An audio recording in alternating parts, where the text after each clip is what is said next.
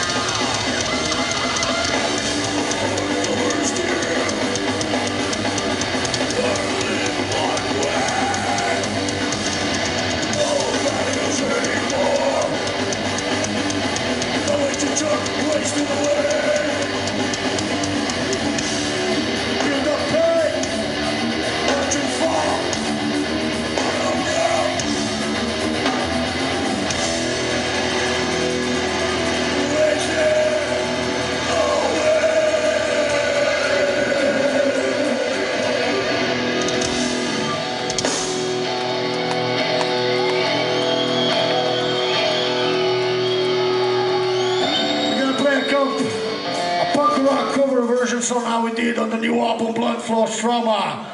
This